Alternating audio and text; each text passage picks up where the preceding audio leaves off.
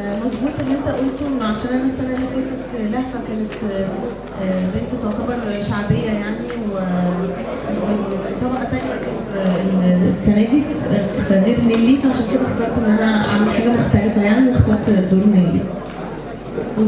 اللي بس آه، أنا طبعا آه، مبسوطة جدا إن أنا بشتغل السنة دي مع دنيا لأن إحنا ما كناش يعني ما كناش عارفين إمتى هنشتغل إحنا الاثنين مع بعض في فيلم أو مسلسل. فالفكرة يعني جت هشام جمال وأستاذ إيهاب ودنيا فكروا إن إحنا نكون مع بعض.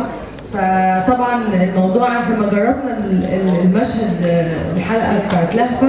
حسيت إنه إمتى هنبقى إحنا الاثنين فطبعا مرتاحة جدا ومبسوطة ويا ريت ما يبقاش يعني نيلي وشريهان بس يبقى في حاجات تانية إن شاء الله.